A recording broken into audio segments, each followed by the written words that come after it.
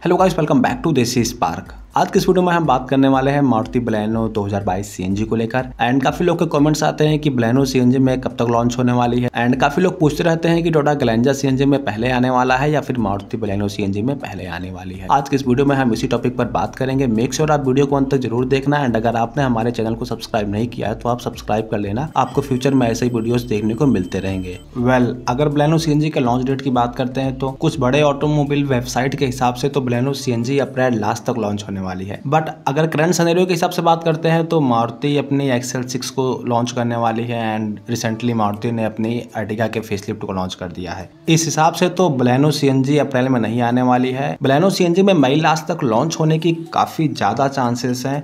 And यही लग भी रहा है कि बिलानो सी मई लास्ट तक लॉन्च होने वाली है। एंड इसका टेस्टिंग काफ़ी ज़्यादा देखा जा रहा है आजकल। इसके साथ साथ हमें टोटा गलेंजा भी सीएनजी में देखने को मिल जाएगा, जिसका लॉन्च डेट बिलानो सी के लॉन्च होने के एक आध महीने के बाद होने वाला है। बिलानो के इंजन की बात करते हैं तो जो सेम इंजन डिज़ायर में आता है 1.2 लीटर का, यही इंजन हमें ब्लैनो में देखने को मिल जाएगा सीएनजी में। एंड यही सेम इंजन हमें टोटा की गलेंजा में देखने को मिल जाएगा। ऑलमोस्ट दोनों कारें सेम है। बस फ़र्क इतना है कि टोयोटा का लोगो एंड मारुति सुचकी का लोगो। बाकी कोई भी बहुत बड़ा major difference Glanza and Baleno के बीच में नहीं है। तो अगर आप भी कोई प्रीमियम हैचबैक सीएनजी कार में लेने की प्लानिंग में है तो आप एक आध महीने और रुक जाइए, क्योंकि ये दोनों कारें सीएनजी में आने वाली है।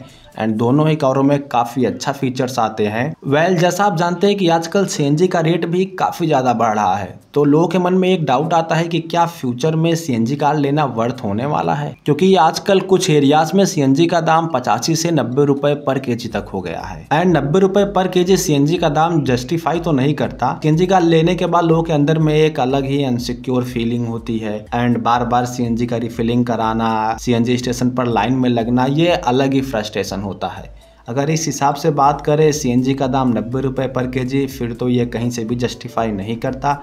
इससे अच्छा है कि आप डीजल कार की तरफ़ चले जाए, क्योंकि डीजल एंड सीएनजी कारों में ज़्यादा माइलेज में डिफरेंस नहीं होता है। तो अगर आगे ऐसे ही सीएनजी का दाम बढ़ता जाएगा, फिर तो सीएनजी कार लेना बिल्कुल भी वर्थ नहीं होने वाला है। सीएनजी कार से अच्छा रहेगा कि आप डीजल कार की तरफ़ ही चले जाना।